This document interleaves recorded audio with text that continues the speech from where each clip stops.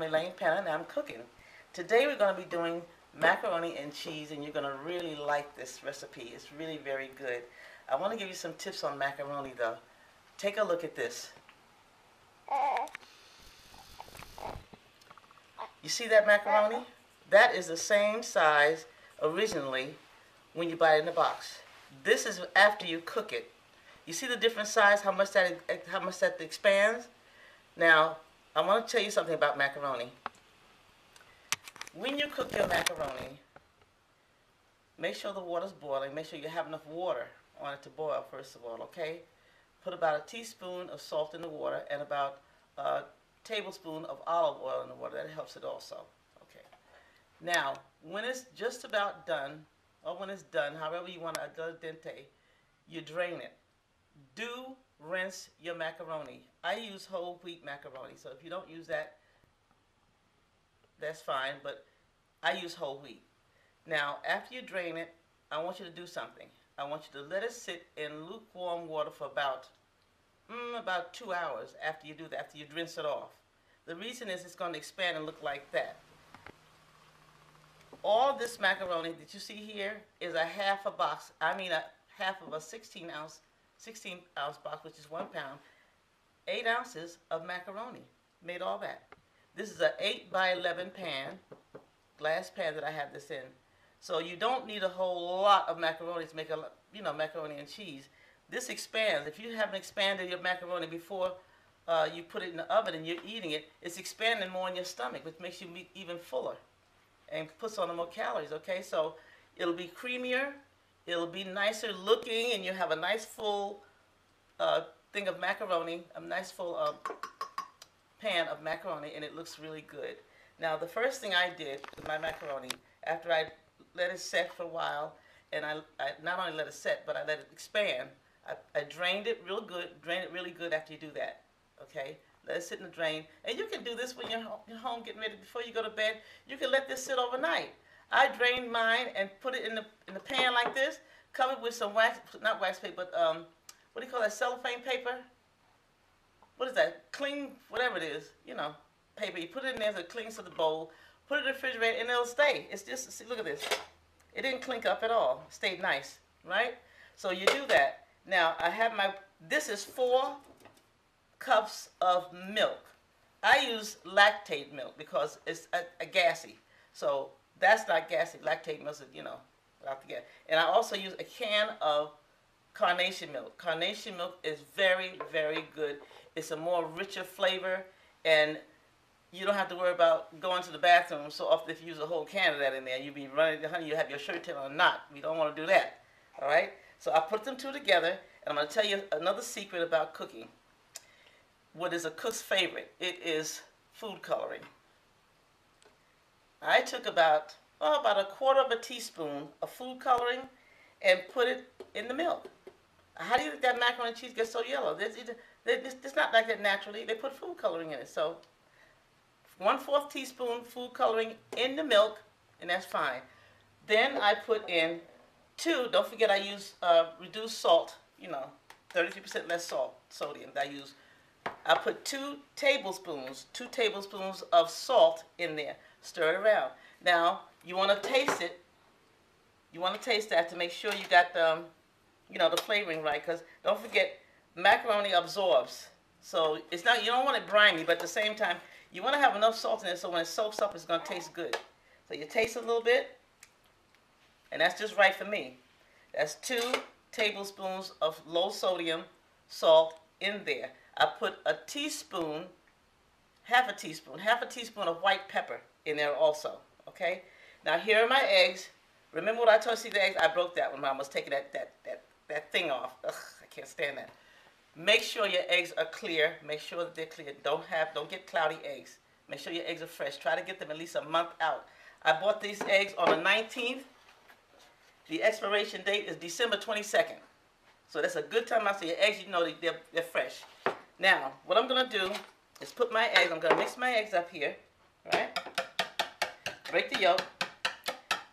It's easier to mix once you break the yolk up. Break up your yolk and mix your eggs. I'm going to pour it in here, in the milk. Finish beating.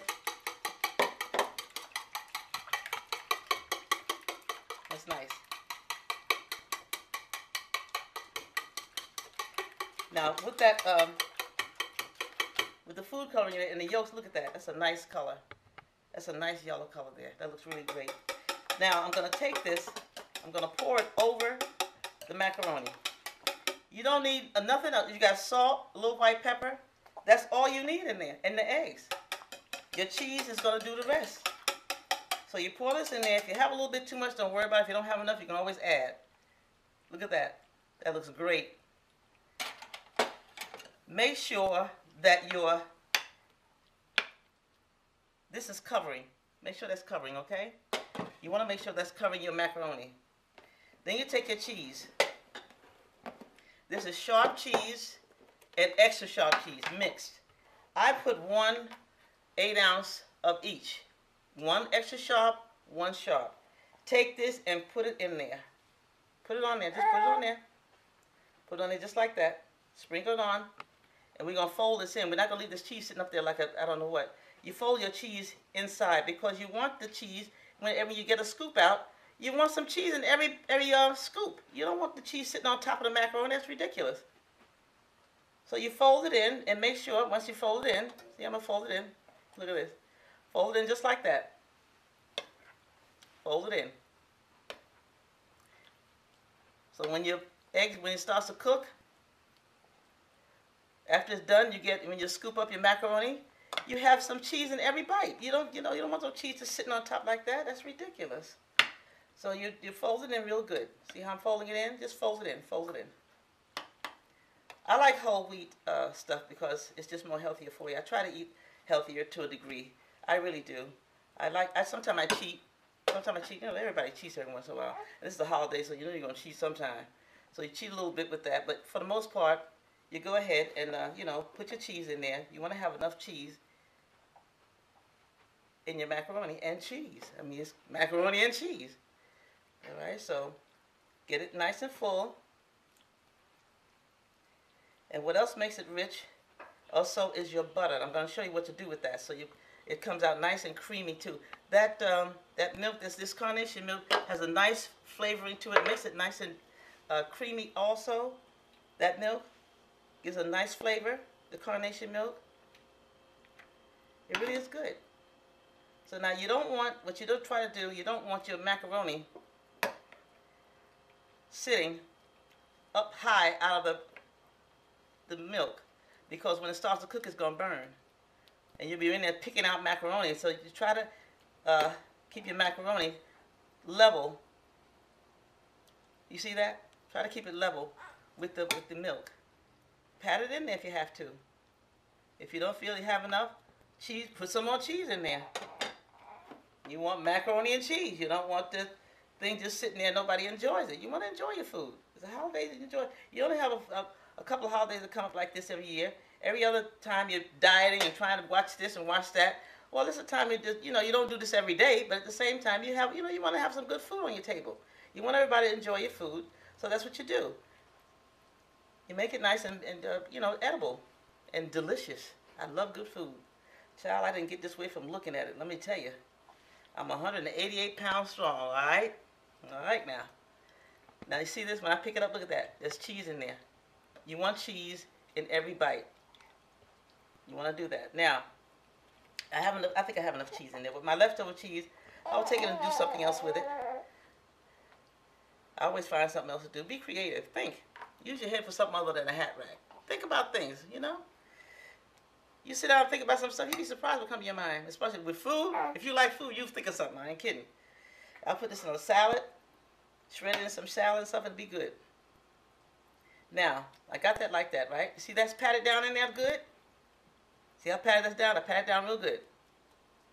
That's nice. It's not just sitting up. You don't want your macaroni sit up. If you can't, if you start to just take a, you can take some out. It ain't gonna kill you. Take a few out if you think it's too much. You want it to lay down flat though. You really don't want. You want it to lay down flat. Now, I took my butter already. And I already cut it up in pats. You see that? That's a pat. It's an old word for slicing. Pats. Put one in the center here. One on the end. On the ends. Like that. Yeah, see what I'm doing? I hope y'all looking at this. On the end, see that? Take another one. Take your hand, cut it half. One right there. A little piece right there. Take it in half. Put a piece right there. Another little piece right there. Now you're ready to go in the oven.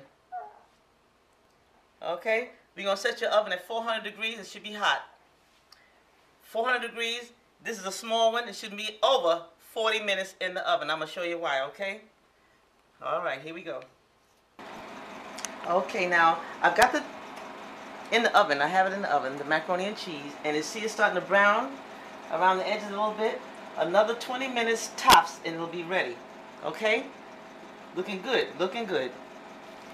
Okay, now it's been about 43 minutes. I took it out the oven, and look at this nice and golden brown. Can you see it's still bubbling? Now I want you to see something. And when you take it out, I don't want you to be afraid. Say, oh, it's so loose. You see it's kind of loose? That's going to set the cheese and the egg is going to set that. What about about an hour, and it's going to be really delicious. It's going to be nice and creamy and fluffy, and you're going to love it. That's it for now. I'm Elaine Penna, and I'm cooking. How you doing? Hi guys, it's me again. I couldn't put this away without showing you how it looked after it's set. It's look at this. Look at that. Can you see that? Look at that. Nice and creamy. Nice and creamy. Nice and creamy. That is so good. That is so look, look at that. Nice and creamy. You see that? It's still hot. I didn't wait the full hour. Let it set because I have to take my granddaughter home. So I put it back in the oven uh, on a very low 170 and let it finish setting in the oven. But if you don't have, you know, if you have, if you press for time, you can do that. Just don't have the oven up high. You don't want to brown anymore. If you want to set it quick, turn the oven all the way down to about 170 and let it sit there for about a mm, about another hour or so, and it'll set on its own. You take it out, it'll be ready. Okay? So you do that now. See that my oven is going off. I took it out because I got to take my baby home. Anyway, I'll see you next time. I'm going to try to have something really special for as far as a cake is concerned. I'm going to try to do this. We'll see. Have a wonderful day. God bless. Bye-bye.